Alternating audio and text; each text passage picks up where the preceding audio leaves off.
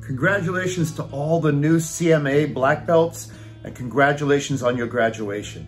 I'm so sorry that I couldn't be there with you to enjoy this moment or more importantly, to spend time with you testing and training with you. One of my favorite moments of last year was being on the beach with all of you as you attained your next level of degree. Remember, the journey starts today, planning for your next degree or your next challenge. It is terrific that you have made this challenge happen in this difficult time while we battled the virus, but more importantly, you have battled apathy. You have battled the challenges of finding a reason to train and to continue training. This is going to perhaps be one of the hardest challenges you ever face, and congratulations on succeeding in beating it and maintaining your training. Now your job is to be an ambassador for your martial art training, but more importantly, for your students who need you more now than ever, because these are challenging times. We're all teaching by Zoom and learning by Zoom. Perhaps we're able to teach in person, but it's not the same. We can't bring that same energy that we get in that hand-to-hand -hand personal contact with our students, but we can if we try. This past year, you have examined yourself and you have found things like resilience, determination, and perseverance. But more importantly, patience. The patience to wait till we can get back to normal and can once again join the fray. But congratulations on making it to this next level and planning for the future. I can remember being a young man and dreaming of going to the Olympic Games and not realizing what sport it might be, but I was able to go many years later. I was able to achieve that dream because it started with one moment of an idea, of inspiration for someone else, for someone else, and from someone else. So my inspiration was watching the U.S. team march in with the flag.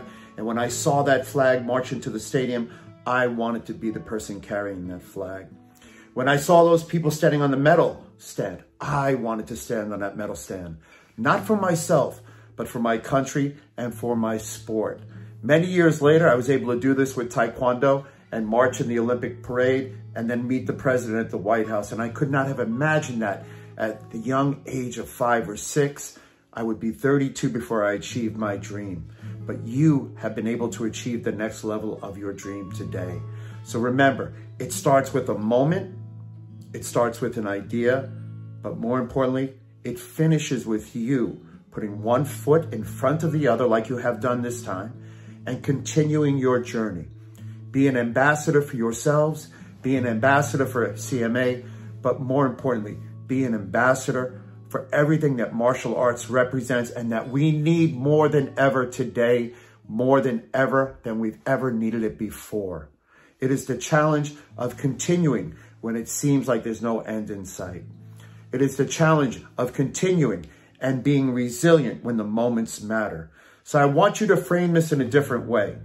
I want you not to focus on what the problems were this past year, but I want you to focus on what did you gain this year. As you reflect upon your black belt that you've achieved or your next level, what was the positive aspect of last year? Was it the increased engagement with your family?